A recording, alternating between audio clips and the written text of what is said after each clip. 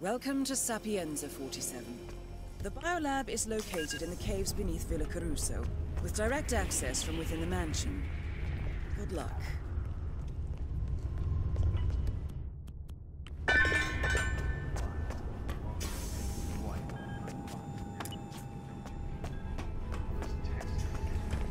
That's why we it safe. True.